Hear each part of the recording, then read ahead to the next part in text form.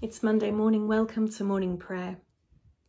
O Lord, open our lips, and our mouth shall proclaim your praise. Hear our voice, O Lord, according to your faithful love, according to your judgment, give us life. Blessed are you, God of compassion and mercy.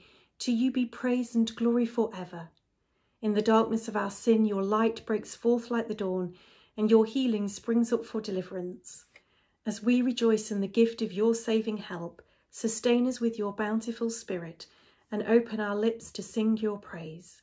Blessed be God, Father, Son, and Holy Spirit. Blessed be God for ever. The night has passed and the day lies open before me. Let us pray with one heart and mind.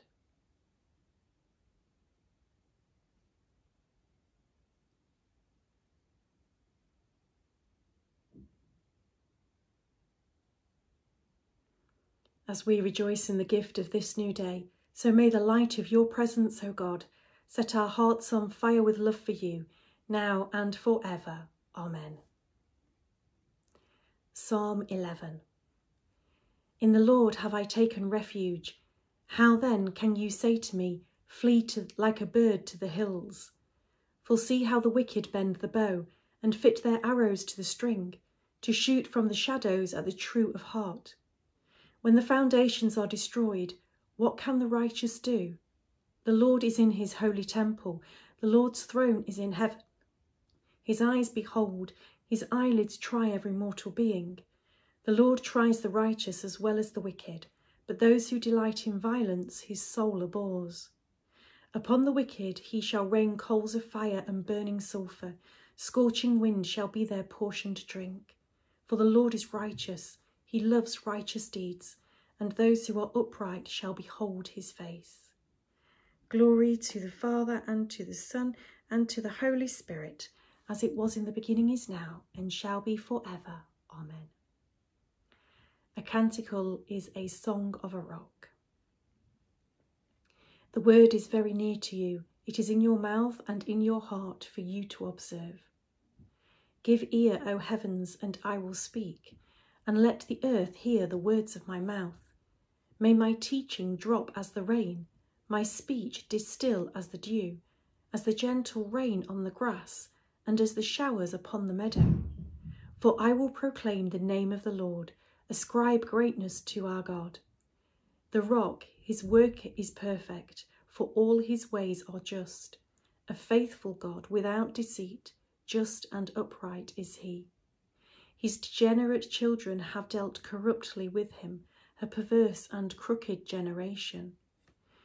Do you thus repay the Lord, you foolish and senseless people? Is he not your Father who created you, who made you and established you? Remember the days of old, consider the years long past. Ask your Father, and he will show you, your elders, and they will tell you. When the Most High gave the nations their inheritance, when he divided the children of earth, he fixed the bounds of the peoples according to the number of the children of God. For the Lord's own portion is his people, Jacob his allotted heritage. He sustained him in a desert land, in the howling waste of the wilderness. He shielded him and cared for him. He kept him as the apple of his eye. As an eagle stirs up its nest and hovers over its young, spreading out its wings, takes them, and bears them aloft on its pinions. So the Lord alone did guide him, and no foreign God was with him. Glory to the Father, and to the Son, and to the Holy Spirit, as it was in the beginning, is now, and shall be for ever. Amen. The word is very near to you. It is in your mouth and in your heart for you to observe. We're reading from John's Gospel, chapter 5, beginning at verse 1. After this, there was a festival of the Jews, and Jesus went up to Jerusalem. Now, in Jerusalem, by the sheep gate, there is a pool called in Hebrew Beth-zatha, which has five porticos. In these lay many invalids, blind, lame, and paralyzed. One man who was there who had been ill for 38 years. When Jesus saw him lying there and knew that he, he had been there a long time, he said to him, Do you want to be made well? The sick man answered him, Sir, I have no one to put me into the pool when the water is stirred up, and while I am making my way, someone else steps down ahead of me. Jesus said to him, Stand up, take your mat, and walk. At once the man was made well. He took up his mat and began to walk. Now that day was a Sabbath. So the Jews said to the man who had been cured, It is the Sabbath, it is not lawful for you to carry your mat. But he answered them, The man who made me well said to me, Take up your mat and walk. They asked him, Who is the man who said that to you? Now the man who had been healed did not know who it was, for Jesus had disappeared in the crowd that was there. Later, Jesus found him in the temple and said to him, See, you have been made well. Do not sin any more, so that nothing worse happens to you.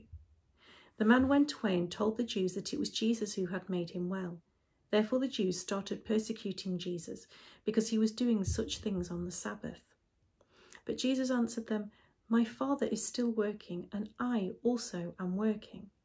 For this reason, the Jews were seeking all the more to kill him, because he was not only breaking the Sabbath, but was also calling God his own Father thereby making himself equal to God. Here ends the reading.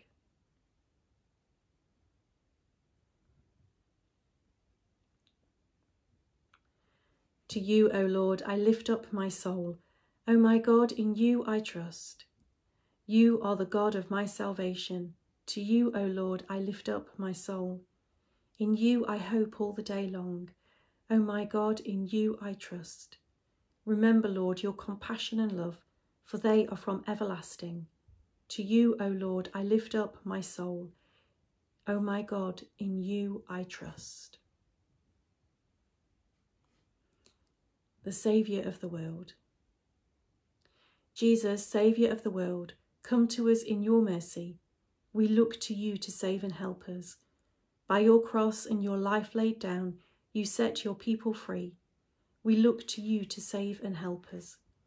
When they were ready to perish, you saved your disciples. We look to you to come to our help. In the greatness of your mercy, loose us from our chains. Forgive the sins of all your people. Make yourself known as our Saviour and mighty Deliverer. Save and help us that we may praise you. Come now and dwell with us, Lord Christ Jesus. Hear our prayer and be with us always. And when you come in your glory, make us to be one with you and to share the life of your kingdom. Glory to the Father, and to the Son, and to the Holy Spirit, as it was in the beginning, is now, and shall be for ever. Amen. And so we pray.